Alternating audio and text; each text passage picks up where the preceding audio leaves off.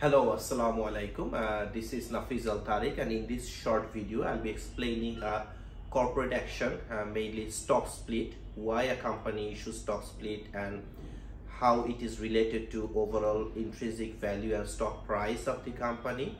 And we will see a practical aspects of stock split with respect to the recent announcement of Amazon and Alphabet. So the first question is, what is stock split? So a stock split is multiplying of a company's outstanding share count that doesn't change its overall market value or capitalization. So this means a company just increases the number of share price it has. So what happens uh, when a company announces stock split? So the number of shares increases. So if a company uh, announced 1 for 10 stock split. So what will happen if the share price of the company is 1000 the share price will become 100 following the split announcement and each individual shareholders that who has one shareholding they will be able to get uh, 10 shares of each so overall the investment value will remain same and overall the market capitalization and the market value will remain same.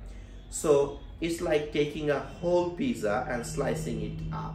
So if you eat it you are still left with the same amount of calories to consume before and after the pizza was cut. So recently amazon board approved 24 1 stock split uh, which means every investor who owns one share of amazon will get 20 shares of amazon and the following uh, this split announcement the stock price spiked by 5% uh, though often uh, the stock price spike in a shorter term we have to remember that the stock split itself uh, does not increase any value of the company because there is no capital injection. So there is no uh, change in market capitalization as well. Uh, we have to also remember that the company announced share repurchase as well. So often share repurchase is considered a positive signal uh, to the investors and investors often uh, invest in the company and stock price reflects. So the question is why the company is uh, announcing stock split? Uh, one of the main reasons that the company spokesperson said that uh, the stock stock split will make the stock more accessible to uh, the investors. So uh, if a stock is uh, 3000 and uh, if anybody wants to buy even one share, they have to invest $3,000. Uh, so someone having a $2,000 will not be able to buy any shares. They have to buy fractional shares. In many cases, that's very cumbersome process.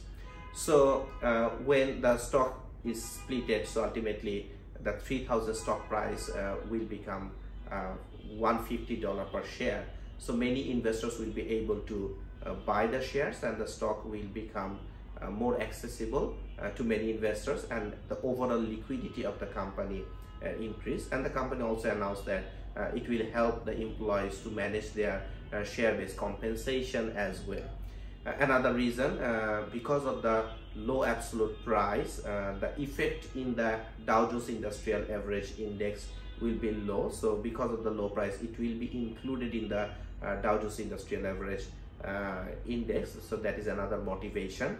Uh, we have also seen that Alphabet announced a 24 1 stock split. So the per share stock price increased to 3000 level at its peak. So company thought that they need to make the company shares available to more and more investors in order to increase the liquidity. So they have decided for uh, 24 1 stock split as well so overall uh, a stock split is just uh, slicing the pie into more pieces uh, the company does not receive anything so the announcement itself does not create any value the market capitalization or stock price should not change only because of this uh, stock split announcement.